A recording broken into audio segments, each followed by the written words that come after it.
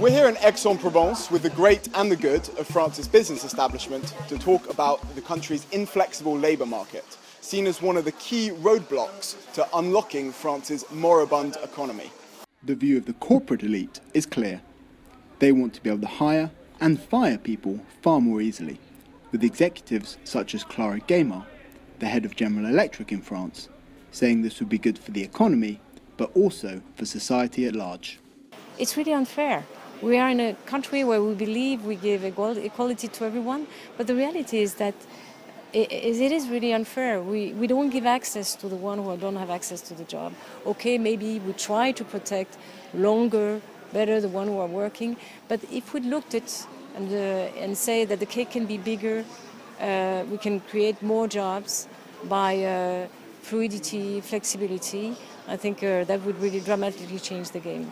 The critics say that France's employee friendly long term contract is far too restrictive, creating a dual class system between the difficult to fire haves and the difficult to hire have nots. I think the obsession in France uh, around a fixed uh, contract is very old fashioned. Uh, and that's not the demand today from uh, young people. It's seen as security, but it should be uh, opportunity. And uh, CDD is uh, a way to protect people, but you exclude a lot of people also. so um, with time, this will change. unions will see also will have to adapt to this new organization. And today, as negotiations are done between uh, employer and uh, labor unions, uh, this this doesn't take into account the reality uh, of what people want. The solutions are not clear, however. Some argue that the government needs to alter the legislation, while others, such as Pascal Lamy, the former director of the World Trade Organization, argues it's the unions that need to be stronger and more accepting of change. I think that's, that's below the street lamp.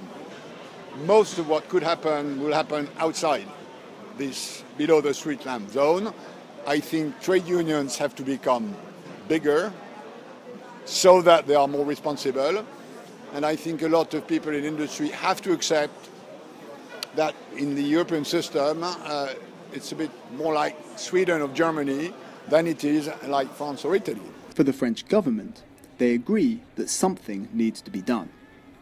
But Emmanuel Macron, the French economy minister, says the answer will be gradual adjustments rather than radical change. Mais la question c'est comment on a plus de fluidité dans la formation des salaires, dans la formation des accords d'entreprise et en effet pour adapter les contrats tout au long euh, de la carrière.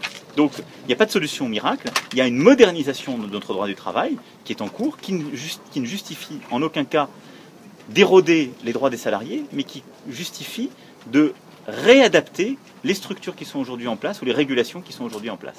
The voice of the business community is clear, but as the government has acknowledged, there are still a great many in France who believe that unemployment is a price worth paying for higher wages and greater job security.